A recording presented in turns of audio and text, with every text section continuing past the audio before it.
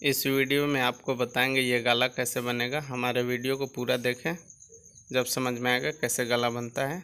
हमारे हमारे चैनल को अभी तक आपने सब्सक्राइब नहीं किया तो इस तरह से आप सब्सक्राइब कर लें और बेल आइकन को भी दबा दें। बहुत बहुत धन्यवाद आप लोगों का। अब चलिए आपको वीडियो दिखाते हैं। ये सवा तीन इंच पे नाप, पे मार्का मार लीजिए। यहाँ से भी सवा तीन और यहाँ से सात इंच पे मार्का मारिए। यहाँ से भी सात, सीधा कर लीजिए स्केल से, इस तरह से। अब इस पेस्टिंग को सीधा कीजिए, यहाँ से साढ़े छः इंची पे मार्का मारिए और यहाँ से भी साढ़े छः और इस तरह से आप सीधा कर लीजिए और इधर से भी, और इसको गुलाई का मार्का दे दीजिए इस तरह से। इस हिसाब से मार्का दे दीजिएगा और यहाँ पे भी इस तरह से। ये मार्का थोड़ा तेज कर लीजिए। उसके बाद में अब अब इसको कटिंग कर लीजिए। इस तरह से, इस तरह से कटिंग कर लीजिए। इसको कटिंग करने के बाद में आधा आधा इंची का फिर मार्का मार लीजिएगा। आधा पौन इंच पे इस टाइप से मार्का मार लीजिएगा। जिस हिसाब से कटा हुआ है उसी तरह से फिर से दोबारा से कटिंग कर लीजिएगा। आधा पौन इंची छोड़ करके बाहर का हिस्सा को काट दीजिएगा। इस तरह से आप कटिंग कर लीजिए। इस, इस तरह से कटिंग कर लीजिए। कटिंग करने के बाद में आप चिपका लीजिएगा इसको और फिर डेढ़ इंची का कपड़ा काट लीजिएगा।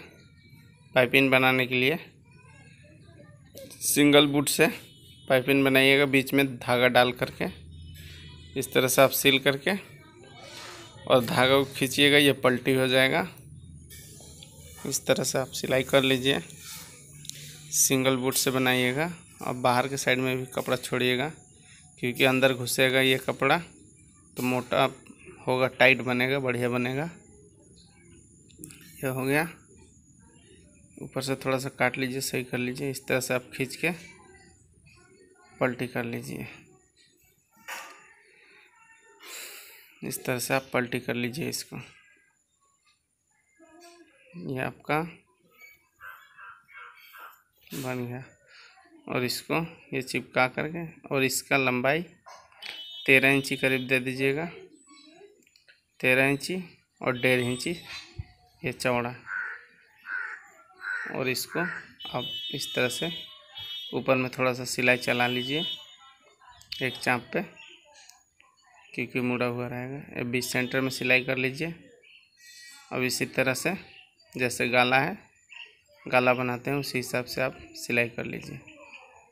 पेस्टिंग के साइड साइड में सिलाई कीजिएगा। किनारे में बिल्कुल पेस्टिंग के ऊपर नहीं चलना चाहिए, सिलाई। यहाँ पे थोड़ा सा बाँध लीजिएगा। फिर इस तरह से आप सीधा सिलाई चला दीजिए। ये हो गया, आप कटिंग कर लीजिए। यहाँ पे बिल्कुल कोने तक कटिंग कीजिएगा, सिलाई तक। और ऊपर से एक चाँप पे सिलाई मार लीजिए आप। इस तरह से सिलाई मारने के बाद में एक पीला कपड़ा लीजिएगा। पीला कपड़ा उरेबी में काटिएगा। उरेबी में पीला कपड़ा काट लीजिएगा। और ये तो वैसे है, सीधा में। खड़ा में डेढ़ इंच का मार्का मार लीजिएगा ये वाला।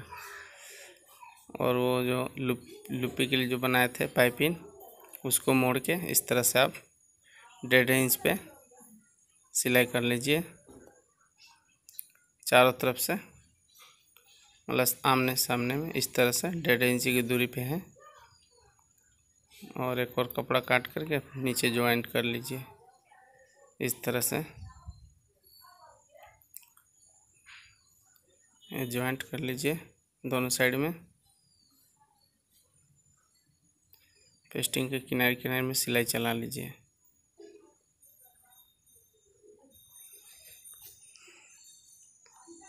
अब ऊपर में सिलाई चला लीजिए। लब सिलाई। लब सिलाई चला लीजिए दोनों साइड में। यहीं से मोड़ना है। यहीं से मुड़ेगा ये। ठीक है, ये उरेबी में कपड़ा है। पीला कपड़ा, ये करीब आधा इंच का है। इसको ऐसे रख के सिलाई कर लीजिए। भी में कपड़ा होना ज़रूरी है तिरछा में। अगर खड़ा में रहेगा या आड़ा में तो नहीं बन पाएगा, इसलिए उरेबी में ही कपड़ा होना चाहिए।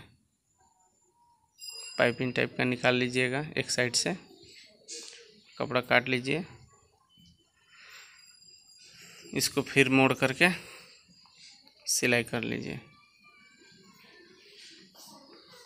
इस तरह से आप सिलाई कर लीजिए। मोड़ करके। थोड़ा बढ़िया से सिलाई कर लीजिएगा। ध्यान से मोड़िएगा। ये मुड़ गया। बस ये बन गया गला अब इस कपड़े को ऐसे मोड़ कर सिल दीजिए। इस टाइप से आप मोड़ लीजिए। ऐसे, बराबर कर लीजिए कहाँ से सही रहेगा। अब इस तरह से आप रख करके लव सिलाई चला लीजिए।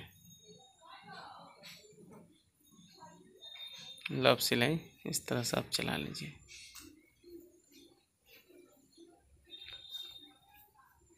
ये लव सिलाई चल गया। इधर से भी मोड़ के लव सिलाई चला लीजिए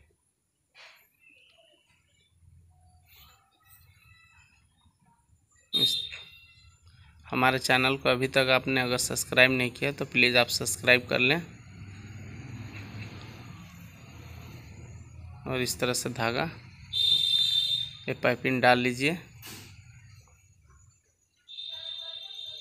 इस तरह से आप पाइपिंग को एक दूसरे में घुसा लीजिए।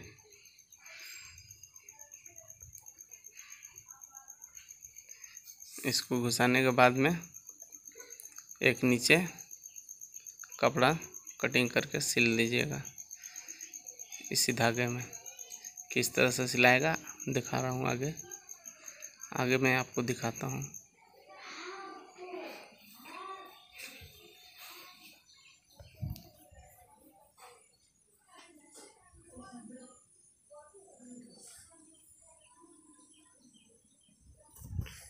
ये आपका धागा डल गया है। धागा डल गया अब ये कपड़ा काट लीजिए इस तरह से, दो पीस और इसको मोड़ करके इस टाइप से मोड़ लीजिए और सिलाई कर लीजिए। जैसे सिलाई कर रहे हैं, वैसे कीजिएगा। ये अब इसको खींच लीजिए, ये बन गया। ठीक है? कोई दिक्कत है तो कमेंट करें। बहुत बहुत